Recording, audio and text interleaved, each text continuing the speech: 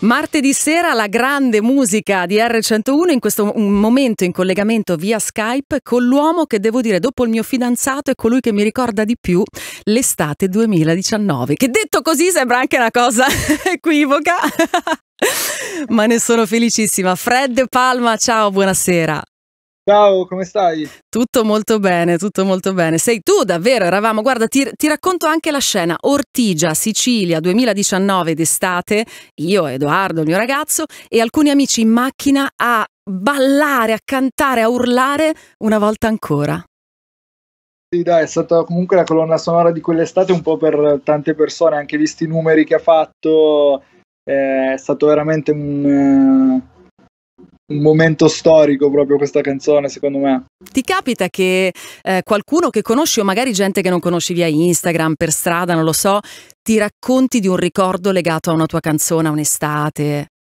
Ma visto, visto la pandemia, comunque vedo poche persone al di fuori della cerchia stretta dei miei collaboratori, no? Perché comunque, sai, eh, in questo periodo è così. Però su Instagram, nei DM mi scrivono tantissimi, ma non soltanto una volta ancora, ma un po' a tante mie canzoni che comunque hanno significato per loro qualcosa in un periodo particolare, quindi diciamo che sono pieno di queste, di queste storie. Di questi sì, ricordi. Di, anche di persone che si sono fidanzate con le mie canzoni o che appunto mie, magari una mia canzone gli ricorda il ragazzo con cui stavano anche se li sono lasciati, eccetera. Sei l'ufficiante, sei il testimone delle cose che nascono. Sì. Guarda che è una cosa bellissima questa. Tu prima hai parlato comunque di. Comunque in estate eh. succede sempre, no? È, è il periodo dell'anno anche più cioè che pre- predispone di più a conoscere nuove persone. Con l'ormone ballerino che balla ovviamente sul ritmo reggaeton, sì, ci sta. Tu esatto. hai parlato di numeri, eh, vabbè, eh, ovviamente ce li ho qui davanti. Una volta ancora sei volte platino in Italia,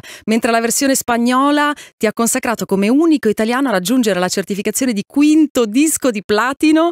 Poi citiamo Paloma dell'anno scorso, doppio platino, fammi fare due conti, 5 più 6 più 2, 13 dischi. Do- dove li metti? Ti sono già arrivati? Dove ce li hai?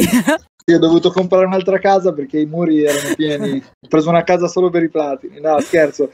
No, sono, sono molto contento di, di, questi risultati e sto lavorando comunque tutti i giorni per cercare di superarmi, anche se appunto leggendo i numeri, quando, quando, mi dicono i numeri ovviamente sai non è che ci penso sempre, però sono comunque molto alti. Però insomma sto cercando di fare qualcosa, qualcosa di nuovo, no? Questo, questo sound reggaeton, portarlo in Italia, spiegare la cultura che c'è dietro, che non è soltanto la canzone estiva, eccetera, eccetera. Comunque è un lavoro che è veramente molto importante, visto quello che voglio fare. Eh, prima fuori onda ti ho chiesto se stai lavorando chiaramente all'album, a che punto è, ti ho chiesto poi che suoni ci sono, perché ovviamente mi aspettavo il reggaeton, però te l'ho chiesto per. Sì, ovvio, è ovvio e meno male, come dici tu, creiamo un percorso per sdoganare la cultura del reggaeton, sì. ma mi chiedevo anche come lo lavori, cioè tu ascolti solo musica reggaeton, mm, ascolti altri dischi e poi ti viene in mente l'idea. Mm, co- come nasce il. Allora, prevalentemente adesso sono proprio diventato un ascoltatore, cioè io ascolto praticamente solo musica reggaeton, però comunque non solo reggaeton, cioè comunque di, di, di ispirazione latina sicuramente, c'è tutto quello che arriva dal, um, dal Messico, dalla Colombia, da Miami, no? tutto quello che un po' si respira in quei posti là, tutto quello che esce no? da, da, dal Porto Rico, eccetera, quindi tutti artisti comunque latini che fanno reggaeton, però ovviamente non ascolto solo quello, ascolto anche altre cose, però più di rado devo essere sincero.